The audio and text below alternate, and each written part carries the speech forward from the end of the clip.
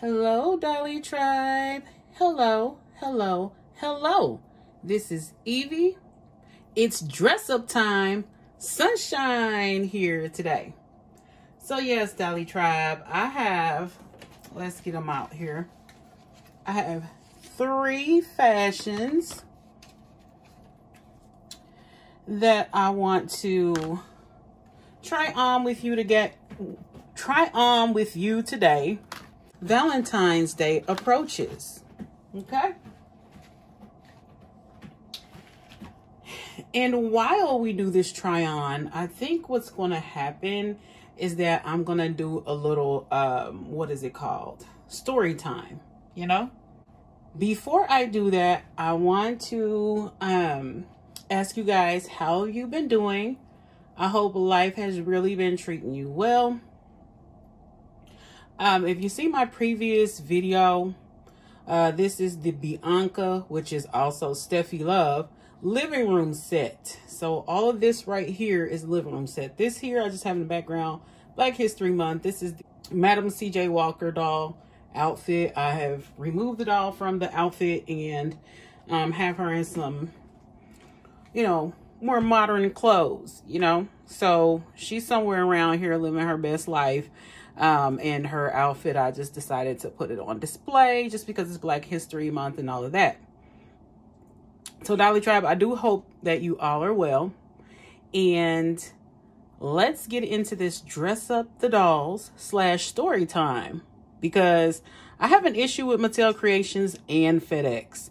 So while I get these dolls dressed and what have you, I'm going to be talking and sharing my experience with you today. All right, and I'll be right back. Let's get started. We're going to start with this doll right here. Her name is Danny. So we're going to get started with, with Danny. She is the um, Harlem Renaissance Barbie signature um, Selma Duparjam doll. And she's on her original body, which has made to move legs made to move legs, but she has the pivotal articulated arms and she doesn't have the knee rotation. I mean, the upper leg rotation like most made to move dolls have. So this is what doll she, she is. And I don't know if you've ever seen her face before, but there it is. Isn't it pretty? And this is the original pearl necklace and stuff from her outfit that she had. So I'm going to put her in this outfit right here. Okay, this is a Sparkle Girls outfit that I've had in storage for I don't know how long. So now that it's out of storage, we're going to get this doll into this outfit. And now let me start my story about Mattel Creations and sorry to hit the camera. Mattel Creations, and FedEx. I wanted the Vera Wang Barbie doll very badly. I purchased her from Mattel Creations. Um, I went to the website on a whim one day and she was $28.99 or something like that. And when I, you know, when I decided to get the doll and everything like that, I, unfortunately, I guess I was in such a, um, you know, a rush to get her because it was like only six left, I think, when I got on there. Something like that. Six, four, somewhere around in there, uh, dolls were left. Okay. And so when I went to buy the doll, you know, I didn't have any problems, but I did put the wrong address. I transposed some numbers. I've been known to do this every once in a blue moon. So, you know, for me, I was just like, well, that shouldn't really be a problem. You know, I can easily call FedEx or, you know, Mattel or something. I should be able to get this worked out. Boy, was I wrong. So, the main thing that happened in that situation was that um, the main thing that happened was I called FedEx and I was like, you know, I put the wrong um, address on my item and it hasn't shipped yet. I said I would like to change it. So I guess a lot of scammers must have messed the were the bad apples that ruined the bunch because they were like, oh well, we can't do that unless we get the shipper, which I kind of understand. You don't want anybody to be able to call in and just take, you know, take somebody's stuff, have it sent to the address that it was never really supposed to be at in the first place, right? So I kind of understood where they were coming from. So I said, okay, I'll call Mattel. So I called Mattel. My item has still not been shipped out. This all happened in one day. I called Mattel and said, Mattel, I really need, you know, I really need you guys' help. I put the wrong address down on my order form. Is there anything you can do to help me?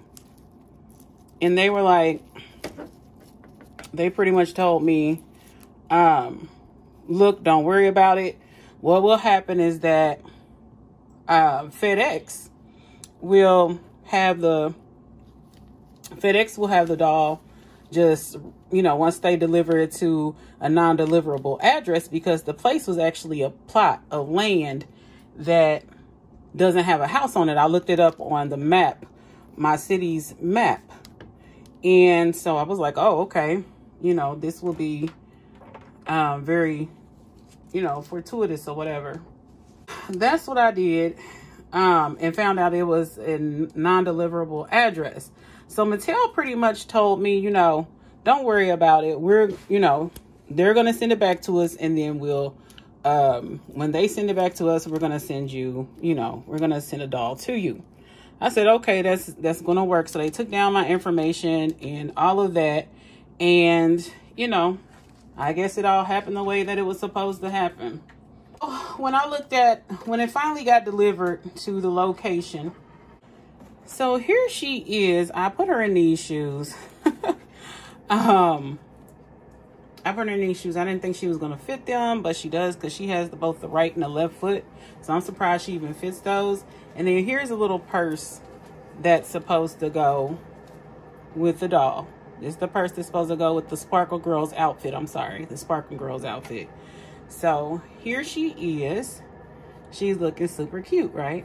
So let's just have her stand. Well, let's move this. Oh, goodness gracious. Okay. So we're just going to have her stand up so you guys can look at her pretty little outfit. And then here's her purse. That's probably going to blend in with the couch. Oh, well. so there she is. The next doll to get a cute little outfit will be this cutie right here. I don't know if I have a name for her yet. If I if I do have a name, I've forgotten it. but um so while I get her clothes off, I'm going to tell you the next thing that happened. So when I got the um, notification that the item had been delivered, I looked at it and it said that it showed a house that it was delivered to. Now, in the beginning, I told you that, oh goodness gracious, I keep knocking this around. In the beginning, I told you that the, um, the doll said it was delivered. And I told you that the place where I transposed the numbers on my address was an empty lot. It's just a, a place that where it's just nothing but grass with no house on it, no shed, no kind of structure whatsoever. It's just grass on this lot. And let's say the lot address is 1234, right? So this is the lot with the with the grass on it. This little tray right here. And this white cup mug here is the address one, two, three, eight Main Street. Okay, and then this controller right here would be one, two, ten Main Street. This is one, two, three, four Main Street, right? So the delivery person, the closest house that was actually to to the plot of land was this house over here. And then let's just say this house was over here and there's some there's just a lot of plots of grass with different addresses on it until you get right here so the delivery man instead of even chucking it right here he goes all the way down here and puts it at this address because that address was similar to the address that was given that I wrongly put down on my order form from Mattel. So I become angry. I knew, you know, I knew that this person was going to do that. I told Mattel that they were going to do that. So I called FedEx. I was like, look, your man did the wrong thing. You know, I'm just kind of let y'all know. And they act like they could care less. I really didn't understand that, but they acted like they could care less. And, you know, that really, you know, peed me off even more once I figured out they could care less. So then I called Mattel. And what Mattel pretty much told me, Mattel told me, don't worry about it. We are going to send you well, first I asked Mattel if they could call um, FedEx and redirect the package before it was even um, before it was even shipped out. And they told me they could not make outbound calls and all this business, right? So they told me that I could not, that they could not do that for me. So that irritated me. And I was like, well, you know, I'm kind of concerned because when I purchased the doll, which was a couple of days ago, there were only six or four of them left. So if they don't send it back in time and all this different stuff, like how am I going to be, you know, assured that I'm going to get this doll? And the young lady that was on the phone, she said, oh, don't worry about it. We have a warehouse that has replacements, you know, ones that people send back and all this other stuff. And then I was like, okay, so I'll get a doll from there. They were like, yeah, we're going to, you know, if it's sold out on the Mattel Creations website, we're just going to get you one from there. So the next thing that they did, this is a really cute top. So I was like, cool. Well, since the guy, you know, put it on a property that um, it was a house. The person that they delivered it to kept the item. Okay, they kept the item and when they kept the item, you know, they didn't call FedEx and say, y'all, you know, deliver me an item. I don't know what happened to it. That sort of thing. They never did anything like that. Like I would assume they were going to do because the area that I transposed the numbers to is a poor area. So I assumed that the people that was there were going to do just what I thought they were going to do. You know, and when you try to tell people this kind of stuff, they seem like they get mad. But I wasn't being, you know, rude to the people that live there. I just know the mindset that some folks have. And uh, so what I said happened. And I told Mattel, hey, look, they didn't. They, they just put it on somebody's lot. And I showed them, I showed FedEx and I showed Mattel because I did my homework. I don't complain to a people that I cannot prove something. I sent the picture, the picture that was on the delivery um, thing that said that it was delivered, you know, how they left the package at this house. I'm not going to use the shoes in this pack. So when I told Mattel, I just I just showed all of the photos. I showed the map photos and then I was able to match the picture that was in the app that told me that my package was delivered versus um, the photos that I had took via Google Maps. You anybody can tell that's the same house and it was the one that was furthest away from the plot that of of the address that I gave that was my address it was just transposed numbers. Mattel is like, don't worry about it. We're just going to send you one from the replacement facility, you know, blah, blah. So, this is a doll. She looks really cute, doesn't she? I don't have a name for her yet. I think I gave her a name, but I forgot it. So, it'll come back to me at some point. Because it's usually what I think they look like they should be named. Um, she looks really cute in these shoes. This skirt looks fabulous on her. And everything. But yes, so I told Mattel that they told me not not to worry. Next doll I'm gonna have is old Heidi here from the Barbie Looks, the most recent wave of Barbie Looks. And um here she is if you don't remember her. And I'm going to put her on this outfit. So Mattel said they were going to send me another Vera Wang doll, not to worry about it. Um, in three days, I would get information about the shipping on it. They updated my at my correct address in the system and said I was good to go. Said, don't worry, we're gonna we're gonna get you your doll. It's gonna take seven to ten business days to get to you, and but you'll have it. So seven to ten business days went by, right? and let me give her this purse to go with her. I'm give her that this kissy face purse.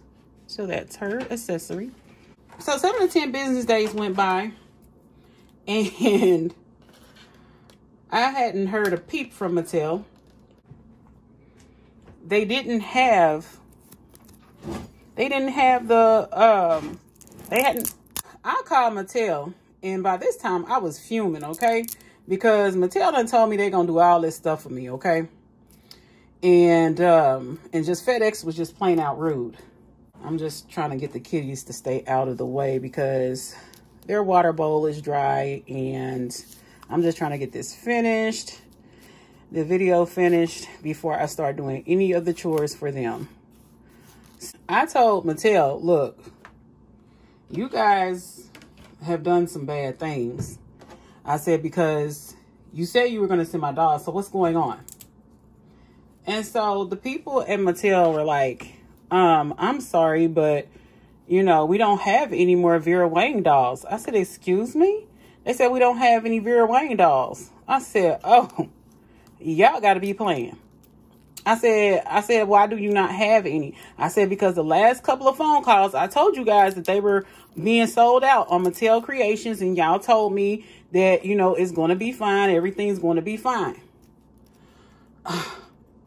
So the girl tells me, well, ma'am, you do know that you put the wrong address on your order. I said, yeah. I said, are y'all just now deciding that y'all don't want to give me my item because it was I put the wrong address on there? I said, when I told y'all all of that, I was very forthcoming with you people at Mattel to explain to y'all what was going on. You know, I was very forthcoming and telling y'all everything that happened, play by play. And so I asked for the supervisor because the girl kept telling me they, you know, there's nothing they can do. There's nothing that they can do.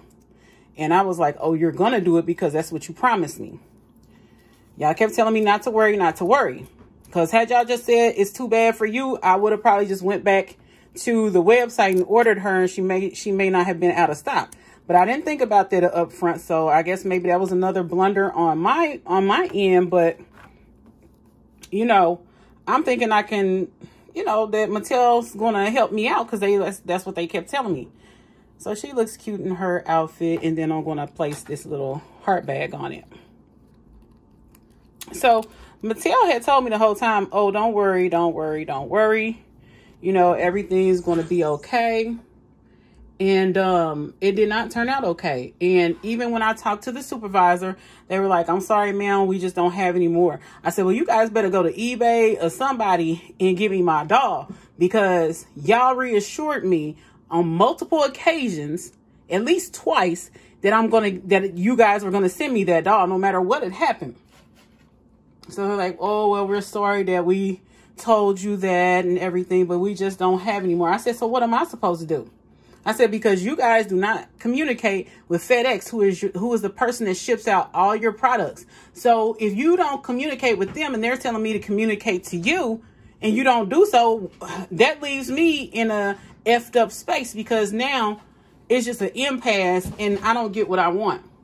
So Mattel told me they were going to reimburse me. Like that helps. I only paid um $34.95 with the shipping and taxes. It was 20 $28.99 or something on their website. And that amount had worked for me.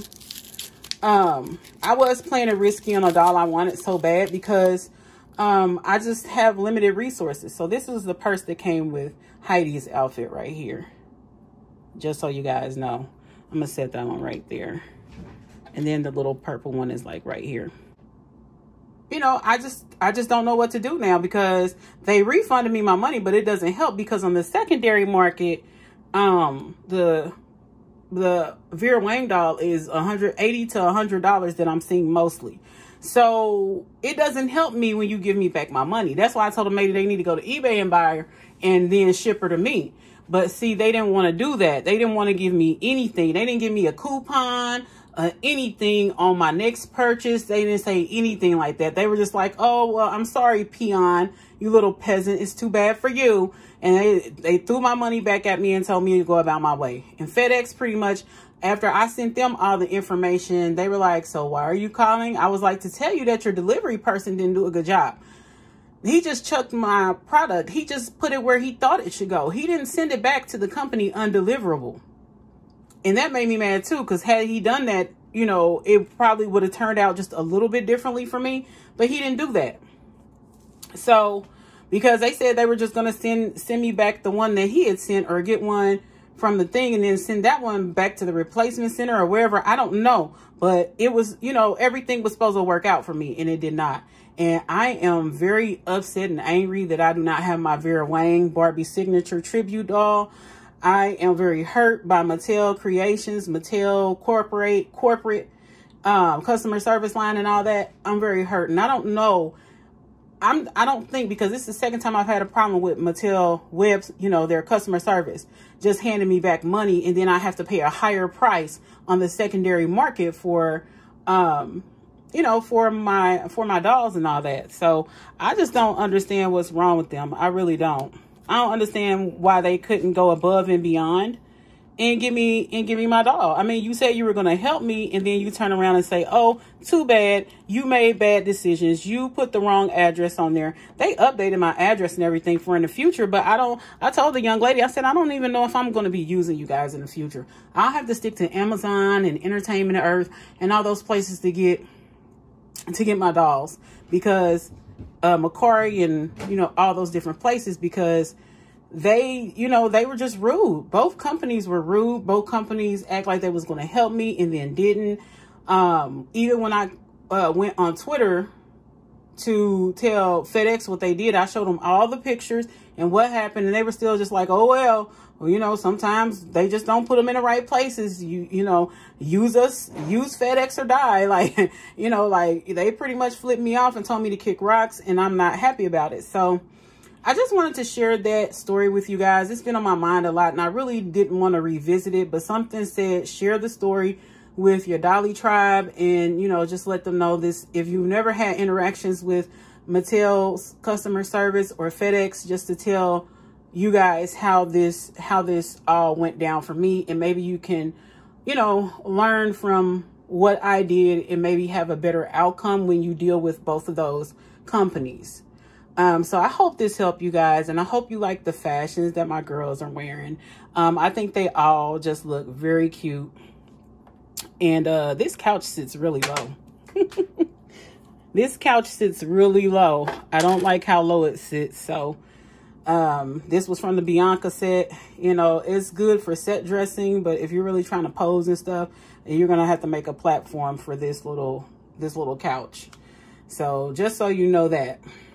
Um, but yes, this is all I have for you guys, Dolly Tribe. Um, if you can tell, like I've been talking about this with a lump in my throat, uh, dealing with Mattel Creations and FedEx really sent me like, it sent me to a place I don't hardly ever go, which is you know, getting in, you know, talking kind of, talking kind of rough to people. I don't really like to do that, but in order to get things done, sometimes you have to do it. And then even if you go there, you still might not get the outcome that you want.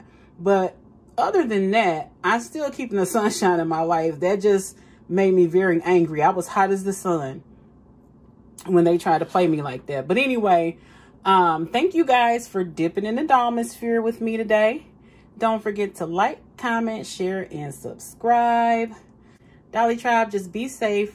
You know, watch your surroundings. When you go out your house, take about 30 seconds to take a look around your environment and see what's going on because that can help you eventually figure out what's the routine in your neighborhood if you don't already know that. So when things are out of place, you'll be more apt to, you know, be able to report it the way you need to. Take care, Dolly Tribes, and many blessings. Thank you, guys. Bye-bye.